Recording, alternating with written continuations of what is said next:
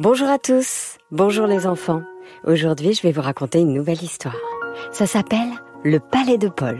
Histoire écrite et produite par Benjamin Muller, réalisée par Alexandre Ferreira et racontée par Céline Kallmann.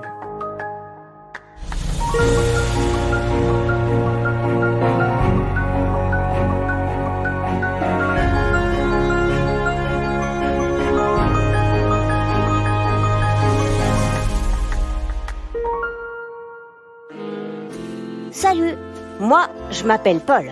J'ai 7 ans et je suis en CE1. Oh, moi je suis un petit garçon comme les autres, hein.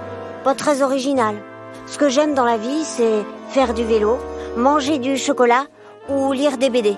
J'adore les sardines de l'espace. Tu connais? J'ai une super collection de cartes Pokémon. Mes films préférés, c'est les Goonies et E.T. E.T. téléphone maison. J'adore quand il dit ça. J'adore la chanteuse Angèle. D'ailleurs, euh, je l'ai vue en concert l'année dernière. Balance ton quoi Un jour peut-être ça changera. Ah, c'était trop bien. En plus, Angèle, bah, elle est trop belle. Dans ma chambre, j'ai des posters de dinosaures. Et mon rêve plus tard, ce serait de vivre dans la savane pour pouvoir observer les lions. J'adore les lions. Donc, euh, vous voyez, je suis un petit garçon pas très original. Comme les autres, quoi. Enfin, presque comme les autres. Parce que oui, il y a bien un petit quelque chose. Un petit truc qui généralement intéresse beaucoup les gens.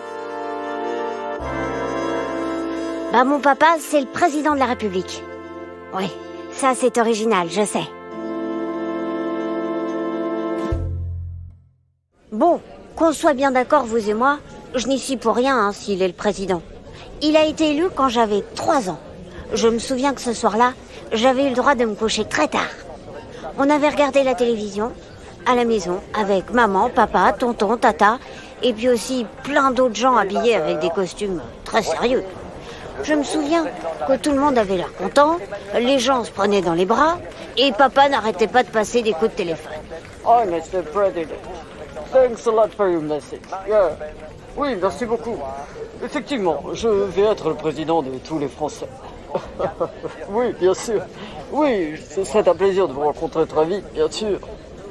Et maman avait tout le temps le sourire aux lèvres. C'était une bonne soirée. Même si je m'en souviens plus vraiment en fait. J'étais trop petit. Depuis que mon papa a été élu président, bon, je vous cache pas qu'on s'ennuie pas. Déjà, on a déménagé à l'Élysée. L'Élysée, c'est quoi? Disons que c'est un château avec un méga grand jardin, installé tout près des Champs-Élysées. C'est à Paris, bien sûr. Et il y a toujours beaucoup de monde. Des policiers, des journalistes, des gens qui descendent les escaliers, d'autres qui les montent. Moi, ce que je préfère ici, ce sont les cuisines. Elles sont incroyables. Je peux y aller quand je veux. Le chef, monsieur Hagrid, a toujours quelque chose pour moi. Et comme il sait que je suis très gourmand et que j'adore le chocolat, il me fait toujours goûter ses nouveaux gâteaux.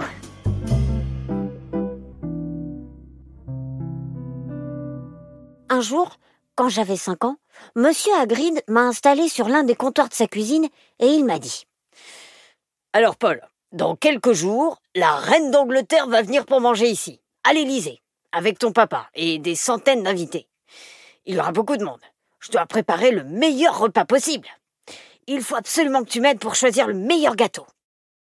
Et donc, moi, Paul, 5 ans à l'époque, j'ai passé mon après-midi à goûter des crumbles aux pommes, des tiramisus, des crèmes brûlées, des merveilleux, des profiteroles au chocolat, des moelleux au chocolat, des glaces au chocolat, et même des carrés simples de chocolat. Franchement, c'était l'une des meilleures journées de ma vie. Bon, c'est vrai que le soir, j'avais un petit peu mal au ventre. J'aime bien comment papa il reçoit d'autres présidents. Généralement, c'est un peu la fête à l'Élysée. On installe des grandes tables dans les salles des fêtes. Marie, la chef des fleuristes, fait venir des camions remplis de fleurs, de plantes et de déco qu'elle installe un peu partout. L'orchestre de la garde républicaine joue des morceaux incroyables. Et moi, bah moi je suis aux premières loges. Il y a aussi des invités très célèbres qui viennent à l'Élysée. À chaque fois, je vais leur demander euh, si on peut faire des selfies. Mes copains de l'école, ils sont un petit peu jaloux, c'est vrai. Surtout euh, quand j'ai pris une photo avec Kylian Mbappé. il est venu l'an dernier. Ouais, et ouais. Ce qui est dommage, c'est que la plupart des autres présidents, ben comment dire, ils sont un peu vieux.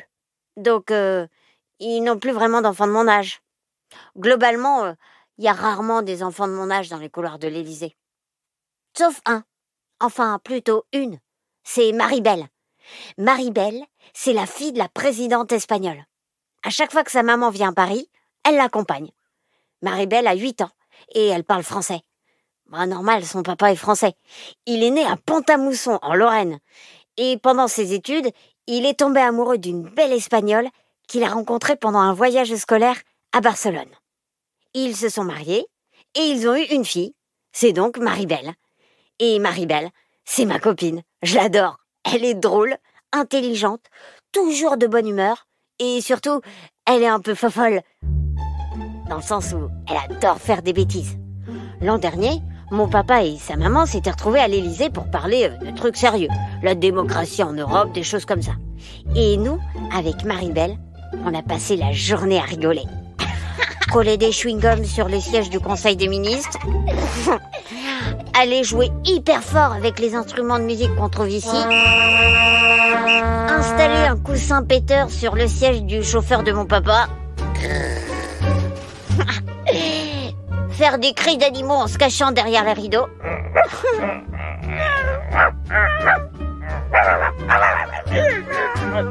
Ou encore, notre bêtise préférée, mettre de la musique à fond dans les couloirs pour empêcher tout le monde de travailler.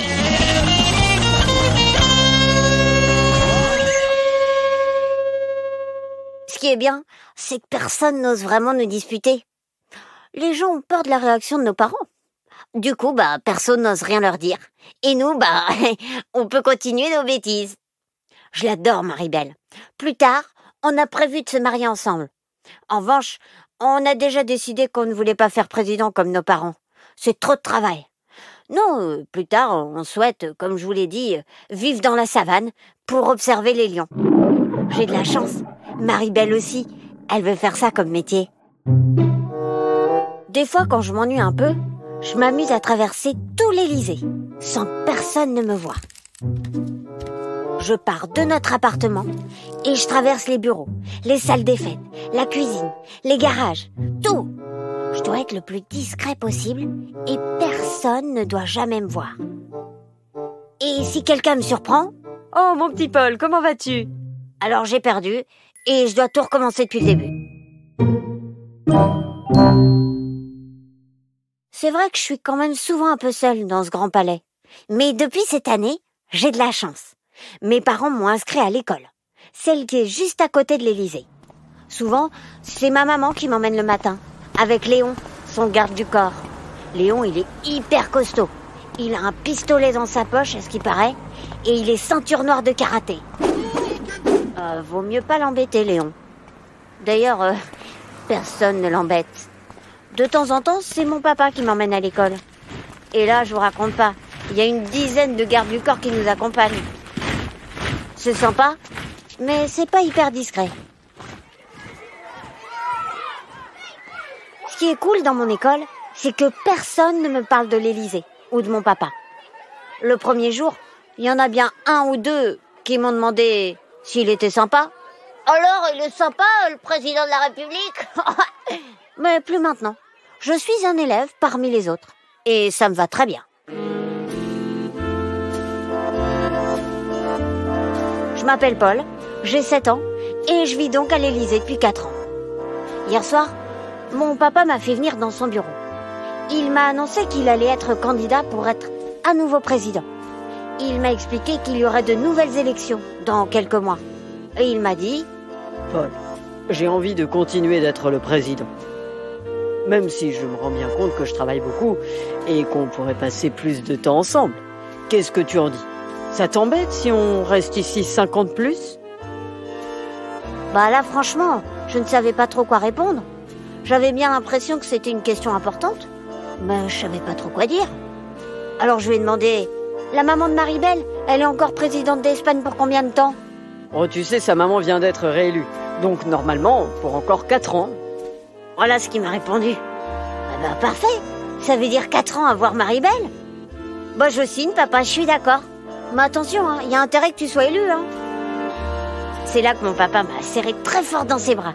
Je crois qu'il était content de ma réponse. Je vais tout faire pour. Et il est retourné à son bureau. Au moment où il allait quitter la pièce, il s'est retourné vers moi et il m'a dit J'ai entendu dire que quelqu'un s'amusait à cacher un coussin péteur dans ma voiture officielle. Tu n'as pas une idée de qui cela pourrait être? Euh. Pas du tout, papa. Mais je vais enquêter. C'est ma mission. Allez, travaille bien, papa. Travaille bien.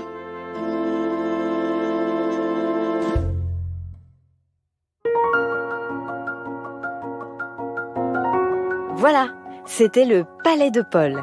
Histoire écrite et produite par Benjamin Muller, réalisée par Alexandre Ferreira et racontée par Céline Kalman. Les enfants, cette histoire vous a plu? N'hésitez pas à demander à vos parents de nous mettre des petites étoiles sur Apple Podcast et à nous laisser des commentaires sur Instagram, sur Facebook, ça nous encourage beaucoup pour la suite. On vous dit à très vite pour de nouvelles histoires.